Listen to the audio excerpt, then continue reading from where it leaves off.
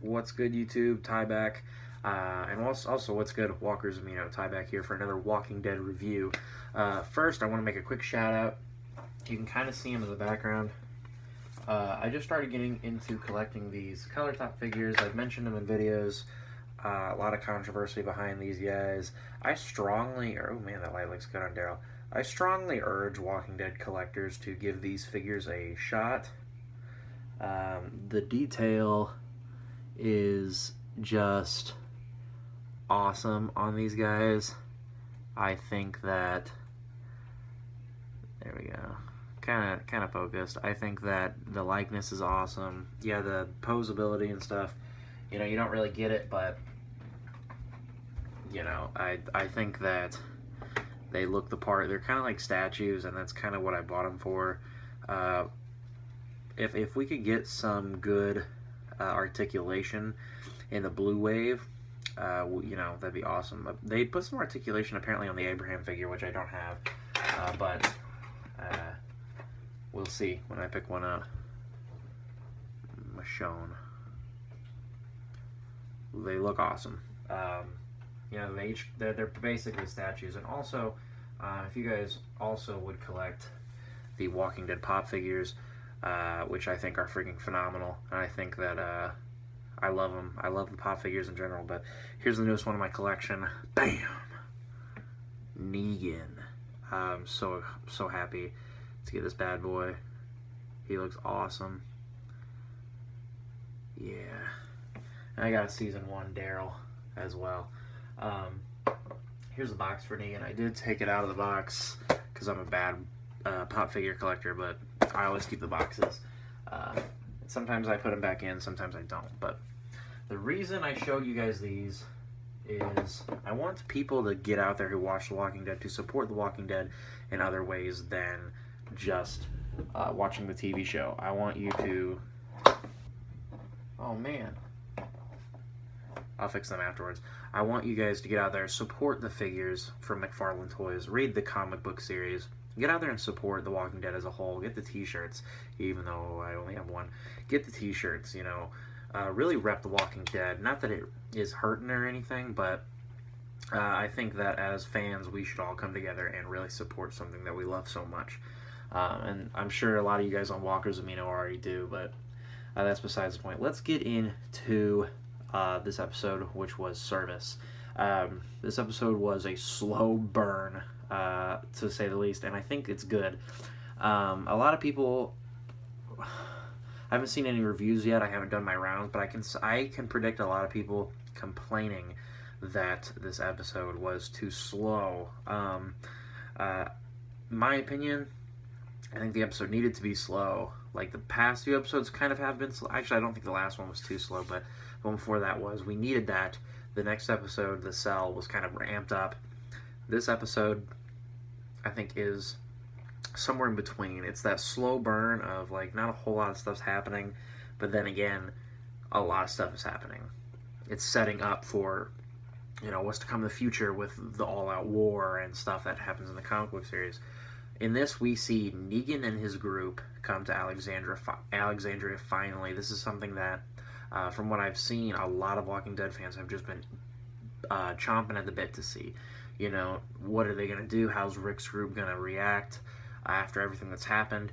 And Rick is a broken man. Um, so Rick or Negan and the Saviors show up, and they officially called them the Saviors in this episode. I believe Rick mentioned that if I if I remember correctly. I don't remember if they um, called them anything else, or, where else they called them the Saviors. It could have been last season when they went to the Hilltop that they actually were called the Saviors, but I can't remember. Um, but the Saviors show up with Negan. Negan says, "Little pig, let me in," which is a phenomenal line, and uh, he enters and just he begins to raid. And this that's this whole episode. Um, and this is going to have some minor spoilers, but this whole episode is Negan and the Saviors raiding Alexandria and just showing them pillaging the the, uh, the community that they have built up. You know, taking their mattresses, uh, you know, taking not taking their food, but taking all their guns, and that ends up leading into uh, the big part of the episode, I guess, is like two guns went missing. You know what's going to happen. Uh, we see the uh, what happens with that, uh, and I won't talk about that. You know, we gotta leave some suspense for the episode, but you know, uh,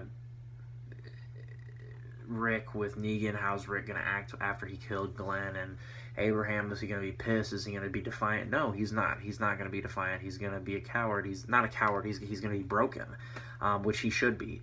He needs to be, and he explains, you know, uh, why to Michonne later on, and Michonne's kind of being kind of the one who's being defiant, which I think is perfect. I think it goes with her character.